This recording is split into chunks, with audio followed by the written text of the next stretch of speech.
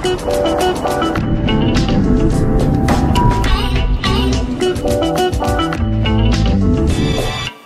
is up guys? Welcome back to the videos. If you guys are new, my name is Mike. So today we're going to be installing something that I've had for quite a while now. I've always had it in my room, but I never actually went out and actually installed it. It's nothing huge, huge, but I'm sure it's to make a huge difference on Ariana. We are installing tire stickers on Ariana. If you guys don't know what tire stickers are, they're like basically the white lettering on wheels, kind of gives your car a little bit of a race car vibe. I did order this probably last summer and it does come with glue that I'm definitely aware of and we're gonna see if I screwed up, if the glue hardens all by itself. I don't think so. Basically inside the box or the bag rather, this was roughly about 120 $130. It does come with rubber gloves, which is cool. I guess probably don't want to get glue all over your hands. And this is actually my second kit. The first kit that I bought, they kind of sent me a defective package because the glue literally exploded all over inside here.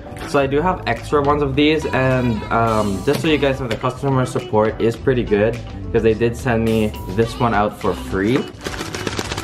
So basically what it comes with are the tire stickers itself. You can pick different sizes for what tire height and tire profile you have. You have the glue, which is self-explanatory. You need to stick it on. And this is basically like a tire cleaner before you install it. We're gonna go ahead and put these on Ariana. To be honest, I'm really happy to see the glue still usable because I did buy this over a year ago. And all of this is still usable, so I'm pretty happy to see that.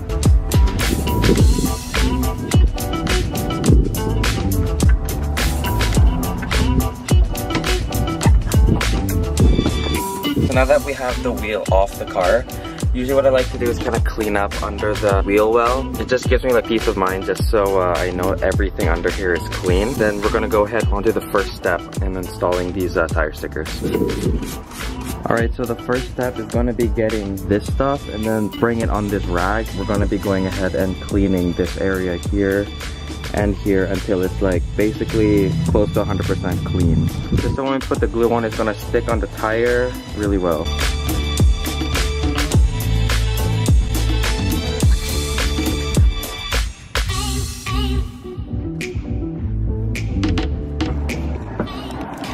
So now that this part here and this part here is basically clean, we're gonna go ahead and wipe down the back of the tire stickers, add the glue, and then stick them on.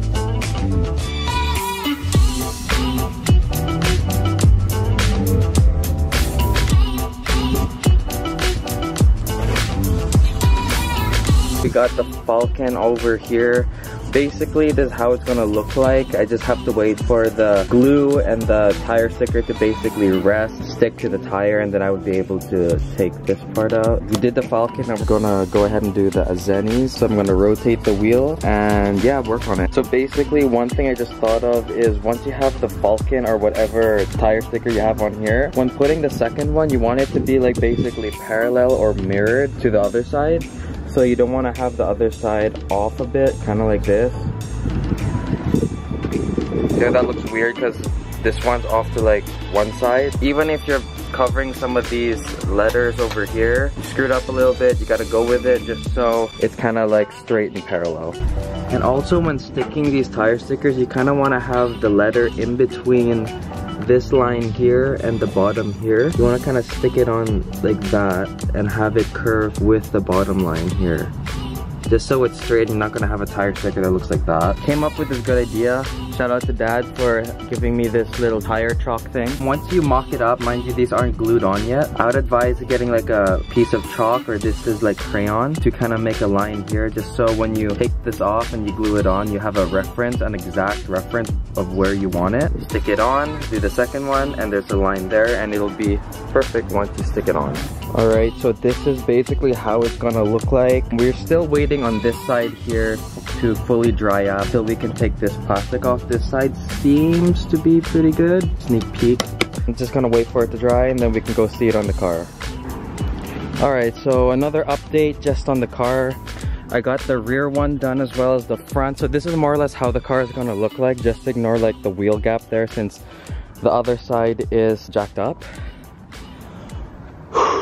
I think this looks so freaking sweet. I think the tire stickers definitely add another like race car feel aspect. So just for like reference, this was before and this is after. I definitely am a big fan of the tire stickers but we're gonna see how well they hold up. Since my car is like a daily, I wanna see how well they hold up just because um, I don't want them to be like falling off after like the first or second week having them. If you guys wanna get this type of look but don't wanna spend like the huge amount of money on tire stickers since they are like 150 bucks I think, you can go ahead and try out like the pen. I don't have one here right now but it's literally like a white paint pen that you can the color in here. So you just use the, the black border just to fill in the rest of the letters in white. And you would kind of get the same effect. Although again, I don't know how well those actually last since I've never actually used one. But that is one way of getting the same kind of look. And I think this style is coming back. I know my dad said in the 80s, all the tires were like this, but no one really liked them and they used to invert the tires. But I think it looks sweet. I think Ariana definitely looks like a race car now. They also recommend cleaning the backside here. I kind of just wipe it down. Try not to lift the tire sticker out of the masking. So once you're done cleaning, you can go ahead and put the glue on. And once you stick it on, kind of spread the glue around, kind of massage the tire sticker. And then afterwards, you wait about 10 minutes and you're all good to go. So right now, me and some of the guys are gonna go take pictures of the car and Zach just removed his muffler on his Jeep. I'm gonna show you guys in just a bit. It sounds gnarly. We're just setting up like a group shot right now. Ariana's over here and here's Zach G. Check it out.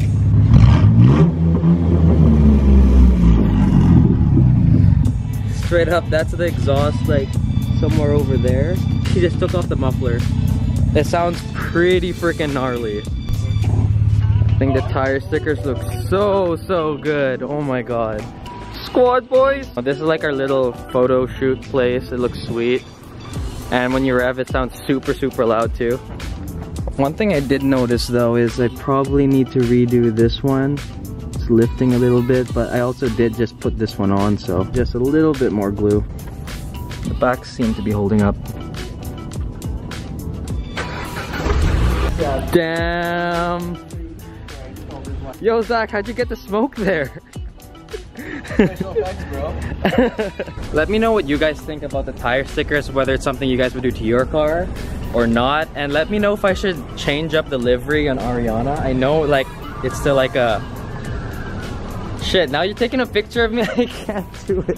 Whether I should change that delivery or not, I know it's like still kind of new, but I've been thinking about changing it up. Let me know what you guys think down below. All right, so we just finished the little photo shoot we had. I'm really happy with these tire stickers. Sage and I are probably gonna grab a bite to eat, then head home. I hope you guys enjoyed this video. If you did, remember to leave a like, subscribe, and join the Annie Perfect Society.